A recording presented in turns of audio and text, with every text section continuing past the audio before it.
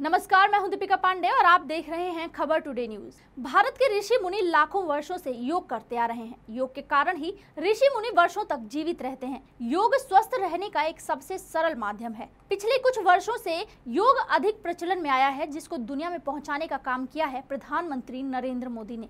प्रधानमंत्री नरेंद्र मोदी हर साल 21 जून को योग दिवस के रूप में मनाते आ रहे हैं। आज प्रधानमंत्री के चलते ही योग पूरी दुनिया में जोरों शोरों के साथ मनाया जा रहा है। अगर आपको किसी ऐसे व्यक्ति के बारे में बताया जाए जो पानी में बड़े आराम से घंटों बैठने के अलावा लेटने के साथ साथ विभिन्न मुद्राओं में योग व कर्तव्य दिखा सकता है तो शायद आपको यकीन न हो। मगर चौकी नहीं, यह सच है। आगरा शहर के एक वकील हरीश चतुर्वेदी ऐसे ही व्यक्ति हैं जो बड़ी आसानी से ये सब कर लेते हैं।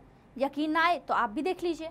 जल की सतह पर योगासन करना और घंटों तक योगासन की मुद्रा में सतह पर बने रहना आपको सुनने में कुछ अजीब सा ज़रूर लगता है। परंतु ताज नगरी आगरा में इसके एक एक्सपर्ट भी हैं। जी हाँ शहर के जाने माने क्रिमिनल लॉयर हरीश चौबे को इसी योगासन में महारत हासिल है। पेशे से ये एक वकील हैं और आध्यात्म में विश्वास रखने वाले हरीश चतुर्वेदी को इस हुनर में माहिर होने के लिए केवल दो महीने का समय लगा। खंडारी निवासी हरीश चतुर्वेदी ने दस साल पहले पानी में योग करने का अभ्यास शुरू किया और हर रोज दो घंटे का अभ्यास और अपनी लगन से महज दो महीने में किताबों में लिखी कल्पना को साकार करने में सफल हो गए हरीश ने संत महात्माओं के पानी में योग करने के किस्से सुने थे। इसी बात ने उन्हें प्रेरणा दी और शुरू हो गया प्रतिदिन का अभ्यास। अब वह पानी की सतह पर घंटों प्राणायाम, पद्मासन, ब्रह्मासन, ताड़कासन, गरुणासन की मुद्रा में खड़े और बैठे रहते हैं और अब वे लगभग चार घंटे तक लगातार पानी में योग कर सकते हैं। फ़िलहाल के लिए इतना ही। ऐसी ही अन्य खबरों के लिए बने रहें खबर टुडे न्यूज़ के साथ।